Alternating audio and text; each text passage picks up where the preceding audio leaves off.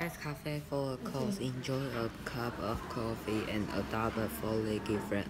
In Asia, many people like to visit Cat Cafe to play with cat and enjoy beverage.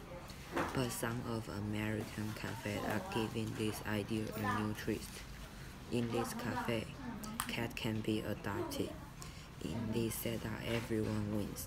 New owner get a cute companion and cat get a lovely home. One of America's first cat cafe is in Oakland, California, called Cat Town Cafe. It's a customer pay to reserve time with its cats. Cats stay er,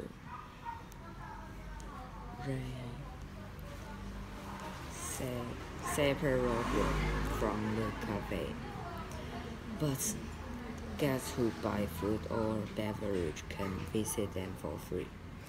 People who can have pets of themselves enjoy to play with the animal. Others visit the cafe seeking a pet. They can get a feel of cat's personality in the cafe. That's how them pick one to adopt. Cats also benefit in these arrangements once, many once kept in cage, but in the cafe they can move around and play. Those who don't like cats can visit the dog cafe in Los Angeles, California. Just like Cat Town Cafe, the dog cafe's goal is help animals find home. 两个动词 is to Is to to help. is to help animals find home. All animals in the cafe were taken from the shelter. The cafe's owner wanted to make sure shelter dogs find good home, so they often take a take a dog in the shelter. the long the dog the dog that uh, the dog that in the shoulder the uh, that have in the show that have been in the show the, the longest gets paid a fee to get into dog cafe and get a free beverage. They can play with dog for about an hour.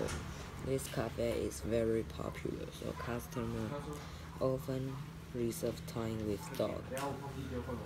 The cafe finds volunteers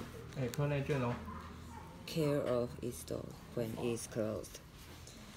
They, they take the dog to the cafe and bring them home each day.